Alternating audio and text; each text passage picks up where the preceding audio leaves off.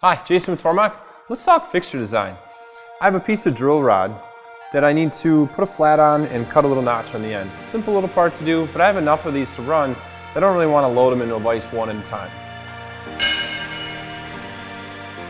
I need to make small batches of parts, like 20 to 30 at a time, in regular intervals. So every couple of months or so we need to run those.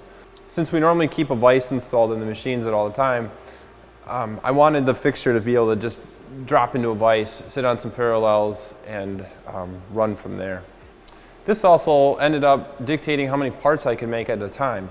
Um, the largest part I can really fit into any of the vices that I have around is about a 4 by 8 inch part.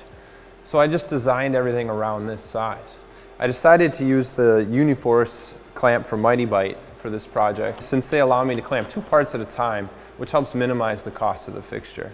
Now I just had to sit down and look at the part itself and figure out how do I want to machine this and what's the most efficient way to um, accomplish all the tasks that we need to.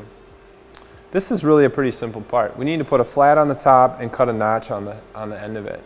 For the flat, all I need to make sure is I have clearance on the sides or on the top of my part for the end mill to run over the top. With that Uniforce clamp, that's a real easy thing to accomplish, so that just kind of worked out on its own. Um, for the notches, I wanted to keep them facing each other. This allowed me to minimize my cycle times and just cut it all more efficiently. If I'd put them on opposing faces, then I'd have to cut two of them, wrap it all the way across the part, and cut the other side. It's just, it's just inefficient setup. So I ended up putting a boss in the center of the part, which you can see. And we use these as a bump stop. So when we slide the bar in, we just bump off of this little boss that's in the center, and then we can tighten the clamps up. And that gives us our consistent bump stop, gives us access to the part for the notch, and uh, everything's in close proximity so we reduce our cycle times. Once I had this all modeled into everything, I added some clearance pockets here for the notch itself. So I just added about 50 thousandths clearance on the sides, on the width and the depth of the pocket just for cutter clearance. And then I just added a datum hole real quick to make setup real quick and easy on this. From here, we just need to machine it. So here's some cutting footage of it running on a 770M. We only needed about five tools to make this part. We roughed it out with a 3 8 inch end mill. This ran at a half inch depth of cut with a 50 thousandths width of cut. We used a two-way adaptive roughing strategy on this, running at 6100 RPM at 80 inches a minute. This ran real well.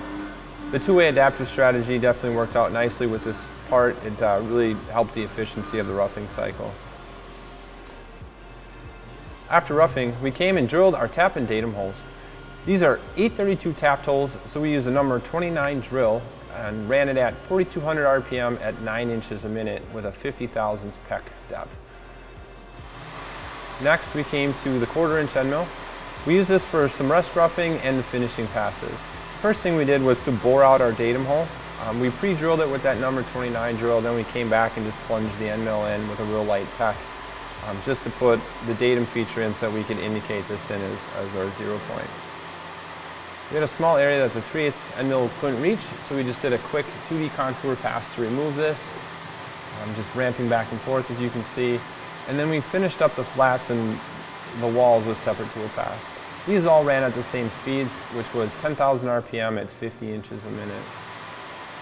After this, we added some quick 10,000s chamfers just to deburr the part this tool ran at 10,000 RPM and 60 inches a minute.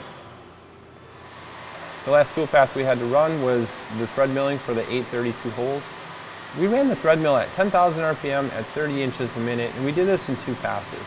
The second pass was a real light pass at 5 thousandths of an inch, just to kind of take a nice light finish pass and get a good fit on the threads. Um, I was pretty lucky on this one. I didn't have to do any cutter compensation or anything to get the threads to fit nice. It just worked beautifully right out of the right out of the gate for us. Then once we had this all done, once everything was all cleaned up, we test fit the holes and we loaded up some parts and the clamps to make sure that everything looked good.